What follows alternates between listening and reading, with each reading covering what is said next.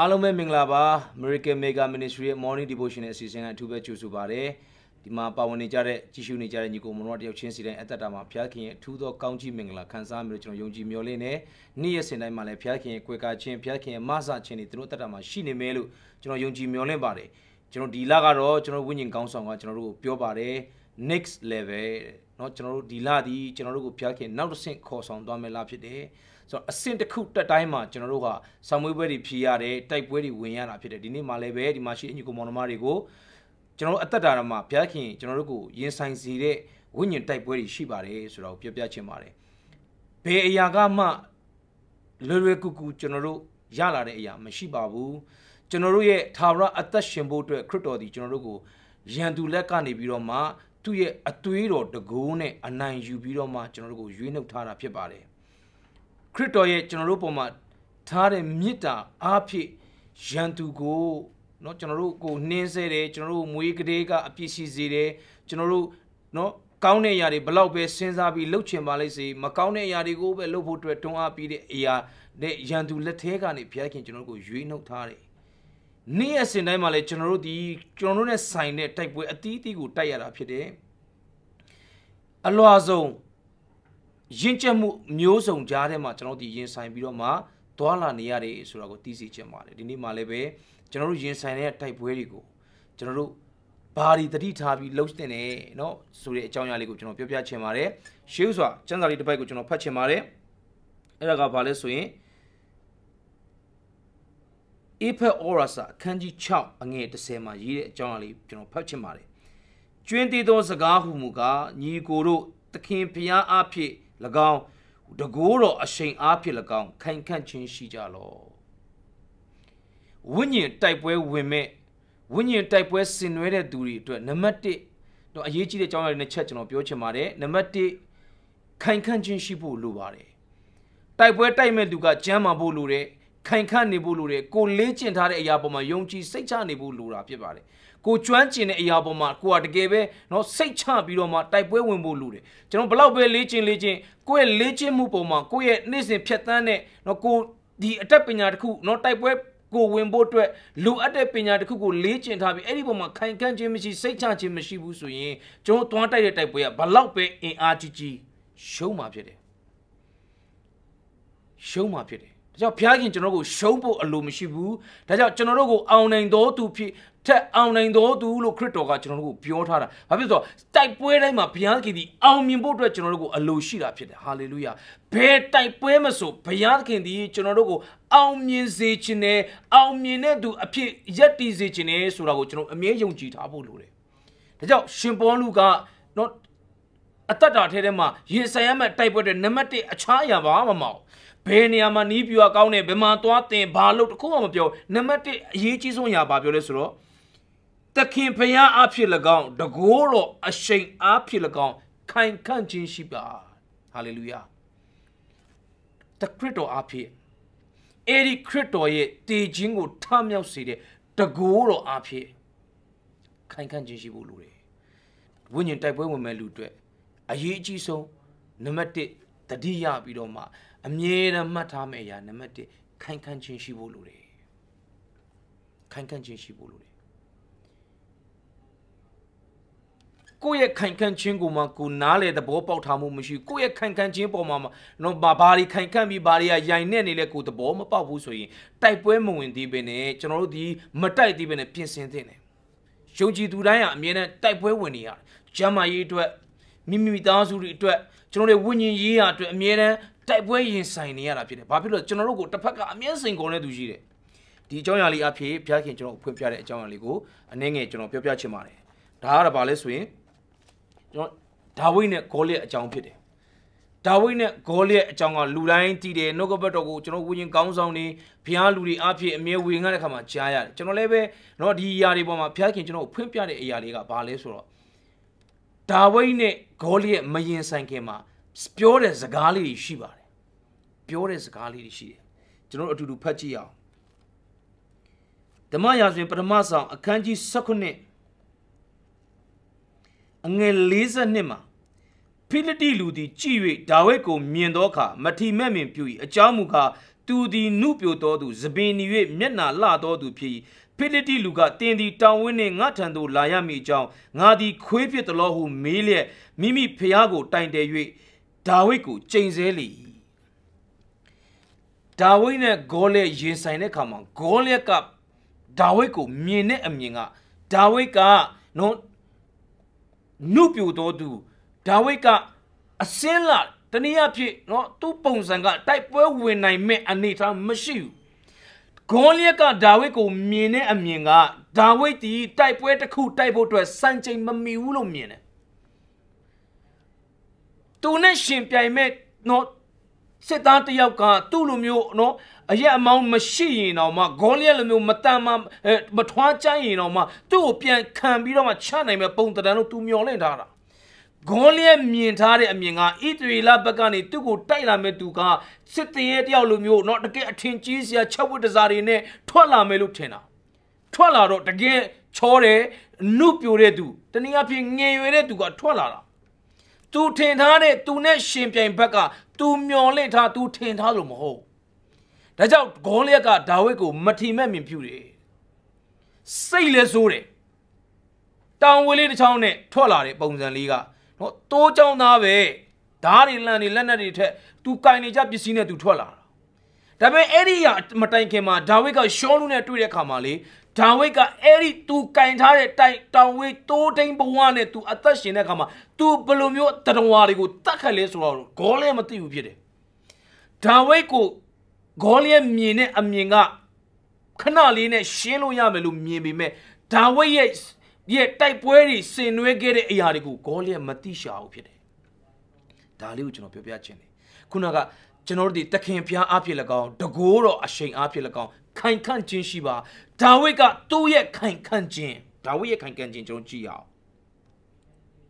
အငယ်45မှာရေးတယ်ဒါဝိဒ်ကလည်းတင်းဒီဓာလှန်ကြည်တုံပါလေငါထံသို့လာ၏ငါသည်တင်ကျိမ့်ပသောဘိုးချေဣတွေလဘိုးချေတို့၏ဖယားသခင်ကောင်းကင်ဘိုးရှိအရှင်ထာဝရဘုရား၏နာမတော်ပါတဲ့သင်ရှိရာသို့ငါလာ၏ ဒါဝိဒ်ရဲ့အမြင်မှာတော့ဂေါလျက်ယူလာတဲ့အရာတွေထက်သူနဲ့အတူရှိတဲ့ဖယားရဲ့နာမကပိုကြီးမြတ်တယ်လို့မြင်တယ်ဂေါလျက်ကို तू ရှင်းတာမဟုတ်ဘူး तू နဲ့အတူရှိတဲ့ဖယားနာမရှင်းမယ်လို့ तू မြင်တယ်ဂေါလျက်ရဲ့အမြင်ကတော့ဒါဝိဒ်ကိုအာဒီကောင်နော်အာခက်ကလေးအရွယ်လေးနဲ့နော်အာရုပ်စင်းအင်္ဂါလည်းနော်နူးနူးဖက်ဖက်လေးနဲ့အตาလေးရှင်းလို့ရမယ်လို့သူထင်တာ ဒါကြောင့်ကျွန်တော်တို့အသက်တာထဲထဲမှာတခါလေကျွန်တော်တို့ရဲ့ခိုင်ခန့်ခြင်းကဖယားသခင်မှာအားကြီးဖို့လို့ဒါဝိဒ်ကတော့ဟုတ်တယ်ဓားတွေလန်တွေလက်နက်တွေတခုမှမပါဘူးသူ့မှာပါတာကတော့အဲ့ဒီဓားလန်လက်နက်ကိုနိုင်တဲ့ဖယားနာမပါတာဖြစ်တယ်တခါလေမြင်ရတဲ့အရာတွေကိုပြိုလဲစေမဲ့ဖယားရဲ့နာမကအရာကသိန်းကိုအောင်မြင်စေတဲ့နာမကတကယ်ပဲတိုက်ပွဲထဲမှာကျွန်တော်တို့ရဲ့ခိုင်ခန့်ခြင်းကိုပေါ်လွင်စေတယ်ဘာဖြစ်လို့လဲဂေါလျက်မသိဘူးဒါဝိဒ်က ချင်းတိတ်တွေဝင်နေနဲ့တိုးထဲမှာတိုးချောင်းရင်းနဲ့ရင်ဆိုင်ခဲ့တာအဲ့ဒီတုန်းကလည်းနော်ဒါဝိဒ်ကအရန်ကျွမ်းကျင်လို့မဟုတ်ဖယားကိုချီးမွမ်းနေနေအဲ့ဒီချီးမွမ်းတဲ့နာမအားဖြင့်အဲ့ဒီတတ္တဝါတွေအားလုံးကိုနှိမ်နှင်းခဲ့တာနော်ဝန်နေဆိုလဲတခါလေမုတ်စိတ်ကနေကင်ပြီးရိုက်ပြတာဗဇက်ထဲကဆွဲပြီးတော့မှသူ့တိုးတွေပြန်ဆွဲနှုတ်ခဲ့တဲ့ဒူးဒါပေမဲ့ဂေါလိအဲ့အဲ့ဒီကမသိဘူးကလကနောက်ွယ်မှာဒါဝိဒ်ဒီခိုင်ခန့်မှုဘလောက်ရှိလဲဆိုတာဂေါလိမသိ ဂေါလက်ကတော့သူ့ရဲ့အင်သူ့ရဲ့အာသူဝစ်ထားတဲ့6ဝတ်တစားတွေနဲ့သူ့ကိုယ်သူခိုင်ခန့်ဆုံးလို့သူထင်ပေမဲ့အဲ့ဒီအခိုင်ခန့်ဆုံးကမကြခင်ပြိုလဲတော့မယ်ဆိုတာ तू မသိဘူးဒါဝိဒ်ကတော့သိတယ်ဘလောက်ပဲခိုင်မာတဲ့အရာဖြစ်ဖြစ်ဖခင်ရဲ့နာမကိုရှင်ပြိုင်လို့မရဘူးဆိုတာဒါဝိဒ်သိတယ်ဒါဝိဒ်ကတခုံးပဲပြောတယ်မင်းကြိုက်တဲ့လက်နဲ့နဲ့လာခဲ့ငါလာတဲ့လက်နဲ့ကတော့ ဖရားရဲ့မင်းကျိမ့်ပါတယ်တနည်းအားဖြင့်မင်းအထင်သေးတယ်တနည်းအားဖြင့်မင်းလောင်ပြောင်နေတဲ့ဖရားရဲ့နာမနဲ့ငါလာတယ်ဒါကြောင့်လေဘလောက်တန်မာတဲ့ဂေါလျက်ကြီးပဲဖြစ်ပါလိမ့်စေဒါဝိရှိမောက်ပြပြဝတ်ပဲအများကြီးလောက်ဆရာမလို့မိတ်ဆွေကျွန်တော်ခိုင်ခန့်ခြင်းရှိဖို့လိုတယ်ကျွန်တော်တိုက်ရမယ့်ဝိညာဉ်တိုက်ပွဲတွေအတွက်ကျွန်တော်ခိုင်ခန့်ခြင်းရှိဖို့လိုတယ်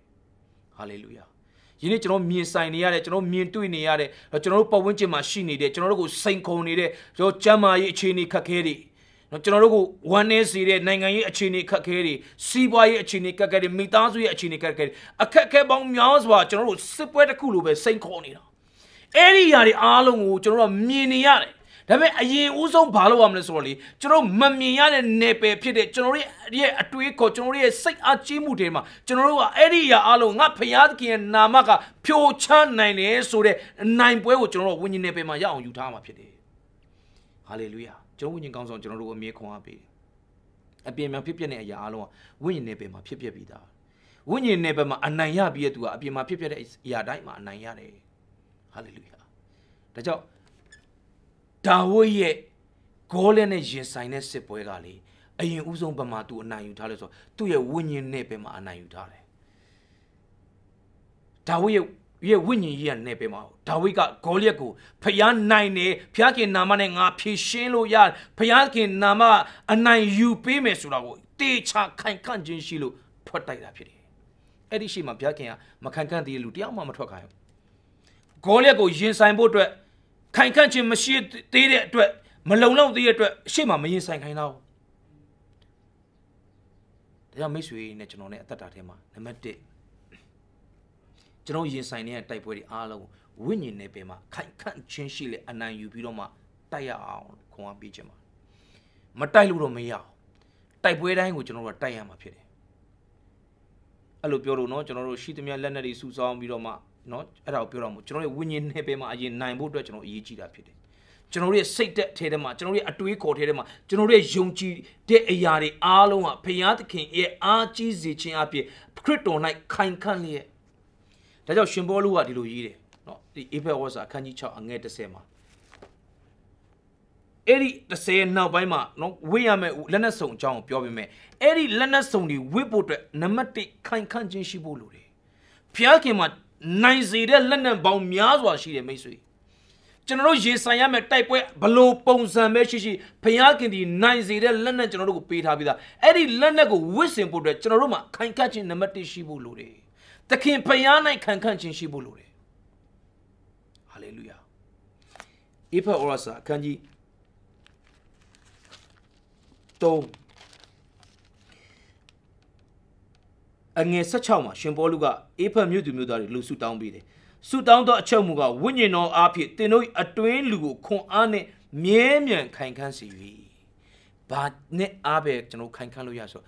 ဝိညာဉ်တော်အားဖြင့်ကျွန်တော်ရဲ့အတွင်းလူကိုခိုင်ခန့်စေဖို့လိုတယ် The year of Holy Spirit မှာတန်ရှင်သောဝိညာဉ်တော်ဒီကျွန်တော်ရဲ့အတွင်းလူကိုခိုင်ခန့်ဖို့ဖျက်ခင်အထူးပဲမဆာပါသည်ယနေ့ကျွန်တော်ရင်ဆိုင်နေရတယ်ငါးလပိုင်းကျွန်တော်ရောက်လာပြီ မကြခင်မှာเนาะကျွန်တော်တို့နေ့ဒီကုံတော့မယ်2021ကလည်းကျွန်တော်ပြန်ပြီးတော့မှကုံဖို့အတွက်နီးလာပြီအဲ့လိုတွားလေပတ်နေတဲ့ကာလမှာကျွန်တော်တို့ဒီကျွန်တော်တိုက်ရမယ့်တိုက်ပွဲတွေအတွက်ခိုင်ခန့်မှုမရှိသေးရင်ခိုင်ခန့်စေသောဝိညာဉ်တော်ကိုကျွန်တော်တောင်းတဆာငယ်ရအောင်ဖယားသခင်ကဓမ္မမှာကျွန်တော်အော်ဟေးရအောင်ဖယားခင်ကျွန်တော်ရေဆိုင်ရမယ့်တိုက်ပွဲတွေအတွက်ခိုင်ခန့်ခြင်းကကိုတော်ပဲဆိုတော့ကျွန်တော်ပြောရအောင်ကြောင်းတစ်ကြောင်းလူတယောက်အောင်မြင်လာတယ်ဆိုရင် အဲ့ဒီလူတက်ခဲ့တဲ့ကြောင်းကအလိုလိုနဲ့နာမည်ကြီးတယ်ဘယ်ကြောင်းအခုကဘာမှာဆိုလဲအဲ့လိုပဲเนาะတကယ်နာမည်ကြီးတဲ့တက္ကသိုလ်တွေနာမည်ကြားလိုက်တဲ့နဲ့ဒါဒီတက္ကသိုလ်ကနေဘဒူတွေဘဒူတွေဘလို့နိုင်ငံရေးပုံကိုယ်တွေဘလို့သိပ္ပံပညာရှင်တွေဘလို့လူမျိုးတွေကเนาะဘလို့တီထွင်တဲ့လူတွေကအဲ့ဒီကြောင်းကနေဆင်းလာလဲဆိုတာသိတယ်ပြုစုပြိုးထောင်ပေးလိုက်တယ်လေ့ကျင့်ပေးလိုက်တယ်တကယ်တမ်းကျတော့အဲ့ဒီကြောင်းတက်ပြီးမအောင်မြင်တဲ့သူတွေလည်းအများကြီးရှိနိုင်တာပဲဒါဆိုဒီကြောင်းက အောင်မြင်တဲ့လူတွေပဲမွေးထုတ်တယ်လို့မျိုးမအောင်မြင်တဲ့လူလည်းမွေးထုတ်သလားလို့မေးစရာအကြောင်းကြီးအမှန်ကတော့မဟုတ်ပါဘူးအဲ့ဒီကြောင်းမှာတင် जा ပေးတဲ့အရာအားလုံးကိုတက်မြောက်အောင်ကိုကိုကိုခိုင်ခန့်စီပြီးတော့မှစ조사တင်ယူခဲ့တဲ့သူတွေကအောင်မြင်တာဖြစ်တယ်ယနေ့တင်တဲ့ကျွန်တော်လည်းပဲဒီကျမ်းစာပဲဒီဘုရားခင်ကိုပဲကျွန်တော်ဆုတောင်းတာပဲတန်ရှင်သောဝိညာဉ်တော်ကျွန်တော်ဆံခဲ့တာပဲတချို့တွေကျတော့အောင်မြင်တချို့ကျတော့ဘာလို့မအောင်မြင်သေးလဲဆိုရင် ကျွန်တော်ရဲ့အထေးထဲမှာခိုင်ကန်းစီတဲ့ဝိညာဉ်တော်အားကိုးမှုကကွာသွားလို့ဖြစ်တယ်ဝိညာဉ်တော်အားဖြင့်ကျွန်တော်တို့အတွင်းလူကိုခိုင်ခန့်ဖို့အတွက်ကျွန်တော်တို့ပြင်ဆင်ရအောင်ဟာလေလုယာဒုတိယတစ်ချက်အနေနဲ့ကျွန်တော်တို့ရင်ဆိုင်နေရတဲ့အရာတွေကိုကျွန်တော်သိဖို့လိုတယ်ရှင်ဘောလူကထပ်ပြီးခွန်အားပေးပါတယ်တကယ်ကျေးဇူးတင်ဖို့ကောင်းတယ်ရှင်ဘောလူဘာဖြစ်လို့ဆိုရင်ကျွန်တော်တို့အသက်တာထဲမှာကျွန်တော်ရင်ဆိုင်ရမယ့်အရာတွေအတွက်လိုအပ်နေတဲ့အရာတွေကိုသူရေးခဲ့ပေးတယ်ဘုရားခင်သူ့ ကိုအတုံးပြပြီးရေးခဲ့ပေးတဲ့အရာအားလုံးကိုကျွန်တော်ယနေ့တိခွင့်ရနေတာဖြစ်တယ်ကျွန်တော်ပြင်ဆင်လို့ရတယ်အငယ်7နဲ့7မှာဘာရေးလဲဆိုတော့မာန၏ပြည့်ရတကိုတားဆီးနိုင်မိအကြောင်းဘုရားခင်ပြင်ဆင်တော်မူသောလက်နက်စုံတို့ကိုဝစ်ဆောင်ကြလော့မခိုင်ခန့်ရင်အဲ့ဒီလက်နက်စုံဝစ်လို့မရအောင်တချို့တွေကဝစ်တော့ဝစ်ချင်တယ်မခိုင်မခန့်ဖြစ်တဲ့အတွက်ဘလို့မှဝစ်စင်ပြီးလုံခြုံလို့မရအောင်ဖြစ်တယ် အငယ်ဆက်နှစ်မှာပါရေးဆိုအကြောင်းမူကားငါတို့သည်အသွေးသားရှိသောရန်သူတို့နှင့်ဆိုင်ပြန်တိုက်လန်ရရသည်မဟုတ်အထွတ်အမြတ်တို့နှင့်၎င်းအာနာဇတ်တို့နှင့်၎င်းလောကီမောင်မိုက်၌အစိုးတရားပြုလုပ်သောမင်းတို့နှင့်၎င်းမိုးကောင်းကင်၌နေသောနတ်ဆိုးတို့နှင့်၎င်းဆိုင်ပြန်တိုက်လန်ရကြ၏ကျွန်တော်တို့အရင်ဆုံးနိုင်ရမယ့်အရာတွေကျွန်တော်ပြောထားတယ်အသွေးသားမြင်နေရတဲ့အရာတွေကခဏလေးဖြူလဲလို့ရတယ်ရုပ်လောကခဏလေးဖြူလဲလို့ရတယ်တကယ်ထိုးဖောက်မှုနဲ့အောင်မြင်ပြီးကြီးစိုးဖို့အတွက် ကျွန်တော်တို့ဒီဝိညာဉ်လောကမှာအနိုင်ရဖို့လို့ဒါကြောင့်ဝိညာဉ်တိုက်ပွဲဆိုတာရှိတယ်မိတ်ဆွေယနေ့တချို့အသင်းတော်တွေမှာတချို့လူတွေကတော့အဲ့ဒါတွေတိတ်ပြီးအာယုံမထားဘူးအာယုံမထားတဲ့အတွက်စာရင်ကအယံဝမ်းမြောက်နေတယ်တင်းတော့မသိလို့ဝိညာဉ်တိုက်ပွဲလုပ်ရမယ်ဝိညာဉ်တိုက်ပွဲဝင်ရမယ်ငါတို့ဝိညာဉ်တိုက်ပွဲမှာအားဖြစ်ပေးရမယ်လို့စိတ်မဝင်စားလေလေစာရင်ကဝမ်းမြောက်ဝမ်းသာလီပဲဘာဖြစ်လို့လဲဆိုရင်သူ့တက်တိုက်ပွဲမရှိဘူးအားလုံးတော့နိုင်ပြီးသား စဉ်းစားကြည့်စစ်ပွဲဆိုတာလေမခံကျင်လို့ဖြစ်လာတာအများကြီးပဲဘယ်တိုက်ပွဲကမှပျော်လို့ထတိုက်တာမရှိဘူးတယောက်တယောက်အရန်ချစ်တဲ့လူတွေဘယ်တော့မှဓာတ်နဲ့မခုတ်ပါဘူးတယောက်နဲ့တယောက်သဘောထားချင်းမတိုက်ဆိုင်တယောက်နဲ့တယောက်ဥတီချက်ချင်းမတူတော့ရင်တော့အမြဲတမ်းတိုက်ပွဲဆိုတာဖြစ်ပါတယ်စာတန်နဲ့ကျွန်တော်တိုက်ရမှာစာတန်နဲ့ကျွန်တော်ပခုံးဖတ်ပြီးတွားလို့မင်းအောင် ဘာဖြစ်လို့လဲဆိုရင်စာတန်နဲ့ကျွန်တော်ဥတီချက်မတူစာတန်ဥတီချက်ငရဲသွားတယ်ကျွန်တော်ဥတီချက်အဖဖျားခင်နိုင်ငံတော်မှာဝေစားဖို့အတွက်ဖြစ်တယ်ဖျားခင်ဘုံတော်ထင်ရှားဖို့အတွက်ဖြစ်တယ်မြေကြီးပေါ်မှာနိုင်ငံတော်တည်ထောင်ဖို့အတွက်ဖြစ်တယ်ဒါကြောင့်သင်နဲ့ကျွန်တော်ဒီဖျားနိုင်ငံတော်သားယေရှုခရစ်အသွေးအဖြစ်ရွေးနှုတ်ကယ်တင်ခြင်းခံရတဲ့ကယ်တင်ခြင်းခံရသူဆိုရင်ဖျားသားဆိုရင်သင်ဒီဘုရားခင်နိုင်ငံတော်အတွက်စစ်မှန်တဲ့ခိုင်ခံ့ခြင်းပြည့်ဝတဲ့လက်နက်စုံဝစ်စင်ပြီးအသက်ရှင်တဲ့သူဖြစ်ဖို့အတွက်အထူးပဲဘုရားခင်နှိုးဆော်ကောင်းကြီးပေးပါစေ ဒါကြောင့်ကျွန်တော်အသက်တာထဲမှာခိုင်ခံ့ခြင်းနဲ့လက်နက်စုံဝစ်စင်လေကျွန်တော်ဘသူတွေကိုအနိုင်တိုက်နေလဲဆိုတော့သိထားဖို့လိုတယ်ကျွန်တော်တိုက်နေရတဲ့သူတွေကျွန်တော်နဲ့ရင်ဆိုင်နေရတဲ့သူတွေကိုကျွန်တော်စိတ်ဝင်စားလေလေအဲ့ဒီလူကကျွန်တော်တို့ကိုအမြဲတမ်းအနိုင်ရလိမ့်မယ်ကျွန်တော်စာအုပ်တုပ်ဖတ်တဲ့ခါမှာအဲ့ဒီစာအုပ်မှာပါရေးလားဆိုစာရန်အားတဲ့မိသားစုတွေအသင်းတော်တွေစီးပွားရေးတွေမှာတဲ့ဖျားကိုအာမကိုးလာတော့ဖို့ ဖျားခင်နဲ့ပတ်သက်ပြီးတော့မှအာမကြည့်လာတော့ဖို့အတွက်အမြဲအလုံးလုံးနေတယ်တဲ့တယောက်တစ်ခါလေကျရင်တချို့တွေစဉ်းစားပြီးလှုပ်လိုက်တာတိတိလေးပဲအရန်အောင်မြင်သွားတဲ့ခါမှာဖျားမိသွားတဲ့လူတွေအများကြီးပဲစာရန်အသင်းတော်တွေထဲမှာလည်းအလုံးလိုက်လုံးနေတယ်ဖះအာမကိုတော့လူတွေစုမယ်ငါတို့လူတွေတော့တက်နိုင်တဲ့အရာတွေငါတို့တည်တဲ့အရာလေးအဟောင်းလေးတွေနဲ့ပဲ no ယနေ့အသင်းတော်မှာအသင်းတော်ကိုခိုင်ခန့်စေတဲ့ ဝိညာဉ်တော်ကိုစာငတ်ဖို့အတွက်လိုတယ်ကျွန်တော်တယောက်ချင်းစီရဲ့အသက်တာမှာတန်ရှင်သောဝိညာဉ်တော်ရဲ့ခိုင်ခန့်ခြင်းလိုအပ်တယ်လို့ကျွန်တော်တယောက်ချင်းစီပူးပေါင်းထားတဲ့အသင်းတော်မှာလည်းပဲတန်ရှင်သောဝိညာဉ်တော်ရဲ့ခိုင်ခန့်စေတဲ့အရာတန်ရှင်သောဝိညာဉ်တော်ရဲ့ဥဆောင်ခြင်းတန်ရှင်သောဝိညာဉ်တော်လှုပ်ဆော်ခြင်းအထူးလိုအပ်တာဖြစ်တယ်ဘုရားခင်ကတိုက်ပွဲအတွက်လေဆန္ဒရှိတဲ့သူပဲရွေးချယ်တယ်ဂီတောင်လူပေါင်းများစွာရွေးပြီးဘုရားခင်လူ300ပဲတုံးတယ်တကယ်တိုက်ဖို့အတွက်ပြင်းထန်တဲ့စိတ်ဓာတ်နဲ့ ပြင်းထန်တဲ့ပြင်ဆင်မှုခိုင်ခန့်ဖို့ရှိတဲ့သူပဲဘုရားသုံးတာမိတ်ဆွေဒါတော့ယနေ့ကျွန်တော်နိုင်ငံအတွက်ကျွန်တော်အသင်းတော်တွေအတွက်ကျွန်တော်အသက်တာအတွက်ကျွန်တော်မိသားစုတွေကျွန်တော်စီးပွားရေးအတွက်သင်နဲ့ကျွန်တော်ကခိုင်ခန့်ဖို့အထူးလိုအပ်တာဖြစ်တယ်ကျွန်တော်ဘယ်လိုနဲ့တိုက်နေဆိုတော့ကျွန်တော်သိရင်ဘယ်လိုအနိုင်တိုက်ရမလဲဆိုတော့လည်းကျွန်တော်သိလာမှာဖြစ်တယ်ဒါနှုတ်ကပတ်တော်ကကျွန်တော်တို့ကိုခွန်အားပေးတယ်လက်နဲ့ဆုံရှိပြီးသားအဲ့ဒီလက်နဲ့ဆုံကလေချုပ်ရင်းချက်မရှိအကောင်းဆုံးသောလက်နဲ့ဖြစ်တယ် အဲ့ဒီလက်နဲ့ဆောင်အားလုံးကိုတေချာအသုံးပြုတတ်အောင်သင်ပေးမဲ့သူကတန်ရှင်သောဝိညာဉ်တော်ပဲမိတ်ဆွေကျွန်တော်ခုနကပြောပါတယ်ဘယ်အကြောင်းကနေဘာပွင့်ရတာလဲဘဒူလဲဘလို့အောင်မြင်လာလဲဆိုတာကတင့်ရဲ့အောင်မြင်မှုအဖြစ်တင့်ကိုတင် जा ပေးလိုက်တဲ့အကြောင်းကိုလမ်းမြင်နေရတယ်အဲ့ဒီအကြောင်းမှာမအောင်မြင်တဲ့သူတွေလည်းထွက်လာတာပဲရှိပါတယ်အကြောင်းတက်တဲ့လူတိုင်းအရောက်တရားတဲ့အရောက်တရားလုံး super perfect ဖြစ်လာတာမဟုတ်ချို့တွေမအောင်မြင်ဘူးချို့တွေကြံခဲ့တယ် ချို့တွေနောက်ဆုတ်သွားရတယ်ဘာဖြစ်လို့လဲတင်ပေးတဲ့သူရဲ့နီးလန်းအောက်ထဲမှာတွာလာဖို့အတွက်အားနေခဲ့တာဖြစ်တယ်မခိုင်ခန့်ခဲ့တာဖြစ်တဲ့အတွက်အောင်မြင်မှုတွေခဲရင်ခဲ့တယ်ယနေ့ကျွန်တော်လည်းတန်ရှင်းသောဝိညာဉ်တော်ခွန်အားယူပြီးတော့မှဝိညာဉ်တော်ရဲ့ကျွန်တော်လမ်းပြမှုပေါ်မှာကျွန်တော်သွားဖို့အခါမှာကျွန်တော်ရဲ့အသက်တာကိုကျွန်တော်ခိုင်ခန့်စေအောင်သခင်ခရစ်ခရစ်တော်အားဖြင့်ခိုင်ခန့်ရအောင်နှုတ်ကပတ်တော်အားဖြင့်ကျွန်တော်တို့ခိုင်ခန့်စေဆူတောင်းခြင်းအားဖြင့်ခိုင်ခန့်စေအောင်အဲ့ဒီအားလုံးကိုမုန်းမှန်ပြီးတဲ့သူကတော့အတန်ရှင်သောဝိညာဉ်တော်ပဲ ဒါကြောင့်ယနေ့ကျွန်တော်တို့ရင်ဆိုင်နေရတဲ့ဝိညာဉ်နယ်ပယ်မှာကျွန်တော်ဒီဒီနှစ်ချက်เนาะအထူးပဲအဲတတိထားစေခြင်းနဲ့တတိရစေခြင်းနံပါတ်1ကိုကိုကိုခိုင်ခန့်စေပါနံပါတ်2ကျွန်တော်တိုက်လန့်နေရတဲ့သူတွေကအသွေးအသားနဲ့ကျွန်တော်မြင်နေရတဲ့အရာတွေထက်ကျွန်တော်တို့မမြင်ရတဲ့နယ်ပယ်မှာရှိတယ်ကျွန်တော်တို့ကိုကြီးစိုးခြင်းနဲ့စာရန်ရဲ့လုပ်ရတဲ့အားလုံးကိုတိုက်ခတ်နေရတာဖြစ်တယ်တိုင်းပြည်တစ်ပြည်မှာเนาะကျွန်တော်တို့အဲရုပ်ရှင်တွေမှာဖြစ်ဖြစ် နော်အပြင်မှာပဲဖြစ်ဖြစ်စာအုပ်တွေထဲမှာဖြစ်ကျွန်တော်ကြားရတိုင်းပြည်တပြည်မှာအောင်လန်းနီးပညာနဲ့နော်တိုင်းနိုင်ငံကိုအုပ်ချုပ်နေတဲ့သူတွေကိုဟိုဘယ်လိုပြောမလဲတနည်းတဖုံပန့်ပိုးပေးနေတဲ့သူတွေရှိတယ်သူတို့အားကိုးရတဲ့အရာတွေရှိတယ်မမြင်ရဘူးနော်ကျွန်တော်တို့ဟိုရုပ်ရှင်ဇလန်းတွေလည်းအများကြီးရှိပါတယ်အဲ့ဒါတွေကနော်တကယ်လက်တွေ့မှာဖြစ်ပျက်နေအဖြစ်ပျက်တွေကိုလည်းပုံဖော်ထားတဲ့အရာတွေဖြစ်တယ် မမြင်ရတဲ့နယ်ပယ်မှာရှုံးမှသူတို့အရန်ကြောက်တယ်